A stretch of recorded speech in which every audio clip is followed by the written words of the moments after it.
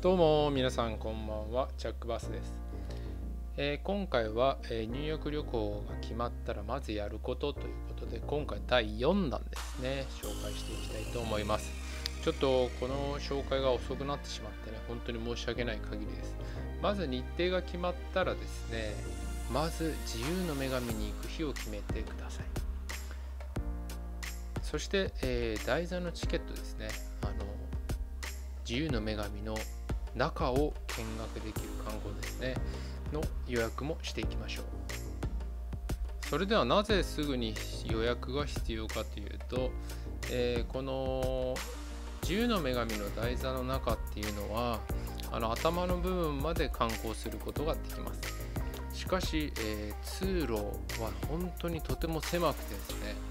1人で、えー、歩くのがやっとという狭さになっております。なので1日の入場制限も決まっているそうです。なので、えー、平日の場合は23ヶ月前から、えー、週末の場合は半年ぐらい前から予約が埋まるっていう話を聞いたことがあります。それではですね次に、えー、スターチュークルーズのこちら公式のホームページになっております。基本的に、えー、このスターチュークルーズというクルーズ船に乗って、えー自由の女神がある島まで行くこととなります。で基本的にこれに乗らないと絶対行くことはできませんのであのこちら公式のホームページになりますのでこちらから、えー、台座までのチケットですね、えー、購入していきたいと思います。でですね以前紹介させていただいたシティパスにもこのスターチュークルーズのクルーズ船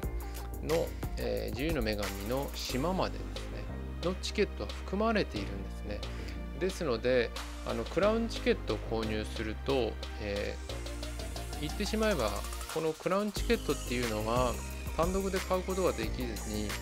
その、えー、船と、えー、台座までのチケットが含まれて、え購入することになります。ですので重複してしまうんですね。っていう観点から、えシティパスの方はですねあのスターチュークルーズがやっている、日中の、えクルーズコースをですね巡るツアーみたいなものも選べますのでそちらに切り替えていただいてこのスターチュークルーズで、えー、行くのは、えー、公式のチケットで、えー、島まで行って台座まで見ることをお勧めします。それでは見ていきましょう。残念ながら、えー、こちら公式のホームページなんですけども日本語が選ぶことができないんですね。まああのそんな難しくないんで見ていきましょうでこのクラウンリザーブチケットってやつですね。こちらを選択していきます。こちらバイ。を、え、選択して基本的に、え、マンハッタンから行かれる方が多いと思うんですけどもこちらマンハッタンとですねでここから出港してこ、えー、船でこういう感じで行くんですけどもまあ、基本的にマンハッタンから行かれる方はほとんどだと思いますので、こちらの方は割愛させていただきますね。で、ニューヨークの方についてますので、こちら選択すると次の画面に行きます。で、ニューヨークリザーブ with クラウンアクセスということで、こちらはクラウンチケットですね。台座の上まで行けるチケットとなっております。で、こちらが、えー、13歳から61歳が、えー、何名っていうのを入力して、まあ、1人21.5ドル、まあ、今の日本円にして2300円ぐらいになりますかね。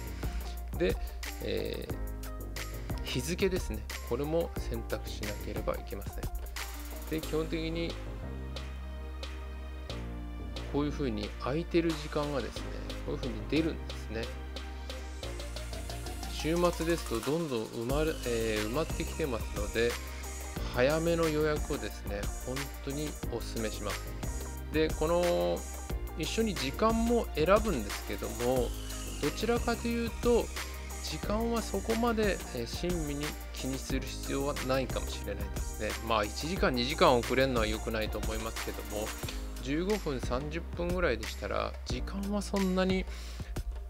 あの私が利用した時は、えー、係員の方も時間はっていうよりかはこのチケットを持っているか持っていないか。それとこの、えー、クランチケット自体をちゃんと紙にすって、えー、引換券を持ってるかをすごい気にされます。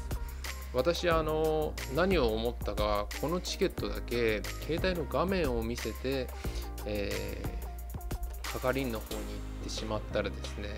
あの責任者の方に話をしてくれっていう感じであっちの施設に行ってください。そのその施設に行ったらあのここじゃないから向こうに行ってくださいみたいな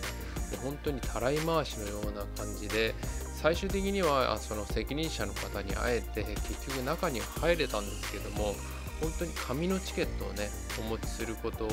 勧めします。で料金にしても、えー、島までの、えー、船ですね。それと、えー、台座の中で頂上まで行けるチケット、まあ、中は本当に歩くことになると思うんですけどもそれでも料金としては2300円から2500円ぐらい。なので私は本当にいい思い出になると思いますのでここは絶対行くべきだと思います。で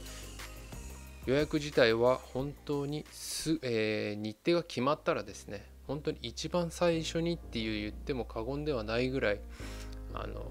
早めの予約をお勧めします。せっかく行くのに、えー、予約がいっぱいで入れないっていうのは本当に残念になりますからね。是非早めに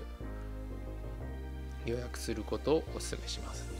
まあ、ちょっと今回は短いんですが今回の動画は以上にさせていただきます。